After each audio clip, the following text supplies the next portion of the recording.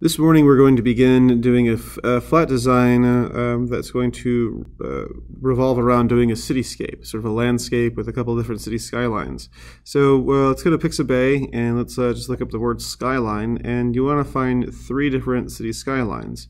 So I'm looking through here and I see a few. You want to make sure you're getting one that's uh, less like this. It's, it shouldn't be from the top looking down and more like this, from far away looking to the side to where it's pretty flat.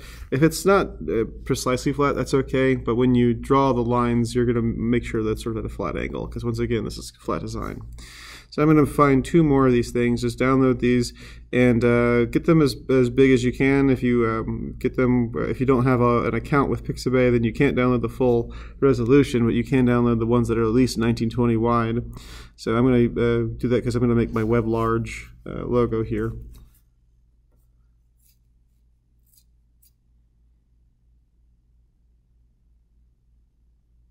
So notice this one is not quite flat, but I'm going to make it flat whenever I when I when I design it here. So once again, web large, and we're going to operate this in much the same way we did our um, low poly portrait. We're going to have two different layers, one with the reference picture and then one with the actual art on top of it. So make sure you keep those separate. So I'm going to make a new layer, drag in my first video, my first uh, picture rather, and resize it to fit inside my canvas. And obviously you can make it bigger than the canvas if you want to include some things and leave th some things out. You can make it smaller than the canvas if you want to have like, say for instance, some negative space on the side, but it's up to you. But I'm going to make this just, just, just as big as my canvas.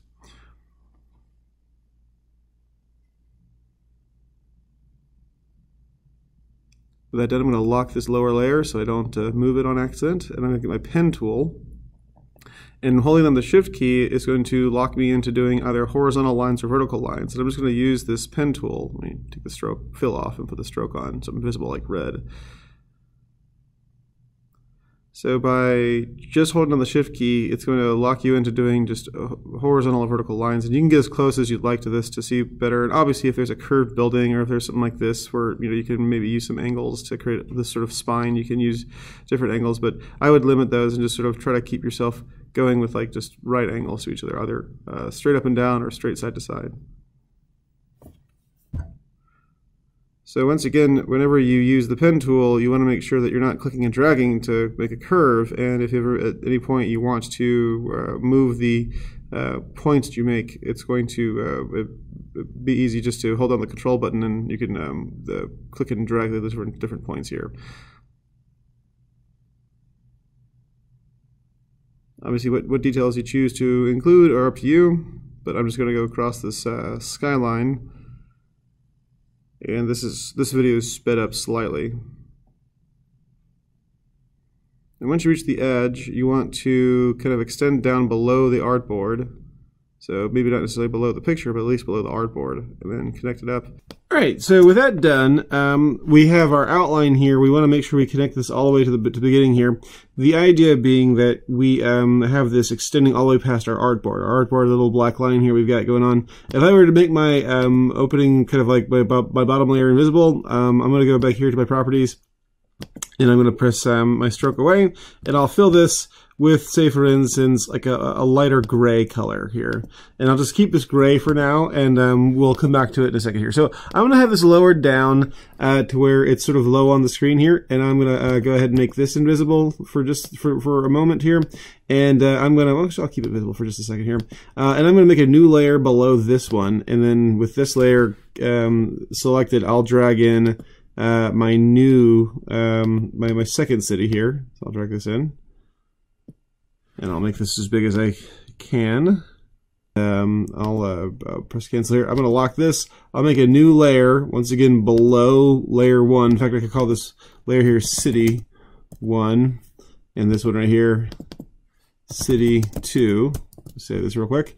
And uh, once again, I'll just, uh, I'll make this invisible here, and uh, I'll uh, go ahead and just get my pen tool and start tracing here. And, and I'm going to, once again, get my fill to be empty and my stroke to be red. And I'll just go through here.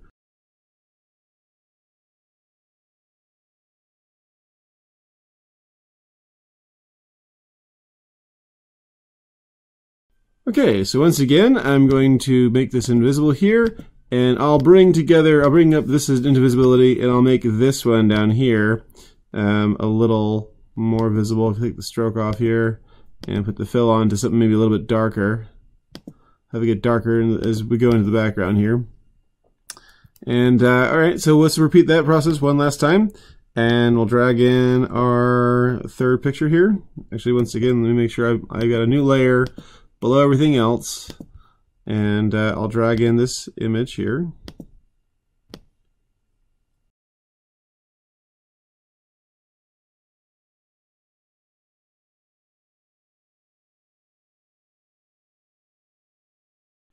Okay.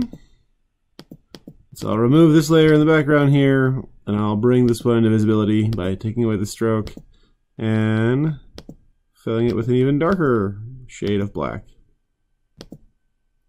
So let's take a look what we got so far.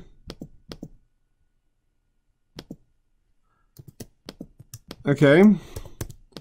All right, so we've got these uh, four, there's three layers of city here kind of going on. Now, um, depending on what you might like, you might like to, say for instance, switch the layers around, like maybe put like layer, uh, uh, this third city here, maybe put this second city in front of the other one. You can switch that around and see how that looks. And you can kind of grab this guy and move him up a little bit and scoot this one down some if you'd like and see how that looks. That might look like something you might want to do. Um, you can um, you can just sort of mix and match which ones you think look best uh, on the top and on the bottom. And then um, the last thing we'll do is we'll add a little sky here, uh, and we'll uh, we'll put a couple things in there. So if we want to add like a maybe maybe we'll do like a sunny sky. Uh, so we, have done this before. Let's go ahead and make a new uh, layer here, and let's make a gradient. I'll just um, create a rectangle here on this uh, back layer. And uh, first, though, what I can what I, what I might want to do is I might want to go back over here to um, this website, color.adobe.com, and find myself a um, like a color palette here. I'll go explore, and I'll find some colors that I like that I think look good in you know next to each other. Like um, I could look up the the word um, uh, city, right? and uh, we can kind of see different colors that we get provided for us. So this is kind of cool looking. So I just copy this and I'll go over here to, say for instance, city layer 6 and hit this little circle there and I'll just click on the fill and go to my color pick your little color palette and just control V paste that in there. And I'll do that for the rest of these here. So maybe and uh, I'm, I'm, gonna make two rectangles kind of hanging out here. And uh, one of these I'm gonna control V. And another one I'm gonna go over here copy this, and then uh, Control V. Now what's cool about this is I can click on these guys and I can go over here to my fill and click on my swatches and this little button here, this little paper with a with a folded up corner, call it new swatch, and just press OK. And there it's hanging out there. I'll do the same thing with this one right here. I'll go to fill, and I'll go over here and I'll just, uh, you know, make a new new swatch. And so I got these two swatches here. So now what I can do is I could actually create a new rectangle, kind of hanging out maybe down here at the very bottom. And uh, I'll just make a new rectangle that goes across everything on this new layer here.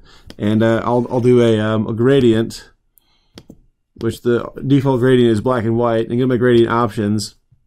I click on this guy here, and I have to go over here to my swatches and actually choose this color here and over here uh, choose the other color that I sampled, right? So now we got this gradient kind of going on. I can change this over to like 90 degrees uh, or something like that. I can kind of move the uh, the path, like the the way it kind of goes um, to be bigger or smaller and stuff, right? So say for instance, like end earlier, so have it, have it get darker faster. Um, or if you wanted to, for instance, uh, just go over here to your move tool, just kind of like shrink this up Obviously, you don't want it to go past like your your city skyline or whatever, but this is kind of cool. And then um, lastly, we can put a little, you know, and then again, depending on what kind of color palette you use, this one worked out for me. I think this looks kind of cool. Um, you can go over here to your circle, and we can do what we did before. We can go to our ellipse tool, just sort of like hold down Shift and make a circle. I'll turn it white, and um, we can, or maybe yellow. And we can just uh, kind of alt drag this over here and make this really teeny. And then just select these two and go to Object, Blend, and Make. And then we can go to Object, Blend, Options, and say, for instance, specified steps, and do say like five or so. Okay, that's good. And uh, we'll make everything opacity like, you know, 20%. And uh, what we can do here is go to Object, Expand, and then Object, Ungroup, and then uh, once again, 21, 20% or so, and just bunch these up together. And so now, when we drag this down, we've got ourselves a little sunset kind of hanging out there. So um, at the end of the day, uh, it's kind of up to you, you know, what you do um, in terms of the color. But uh, I think this looks kind of neat. So I'll just leave it here. I'll call this done, and I'll submit this as a JPEG by going to File, Export for Screens, and make sure you save it as like a flat design city. And it's pretty minimalist, but looks kind of cool. So when we open this up, it should have everything outside of the artboard. Pretty cool. I like it. All right. Well, very cool. Can't wait to see you guys produce. You in class.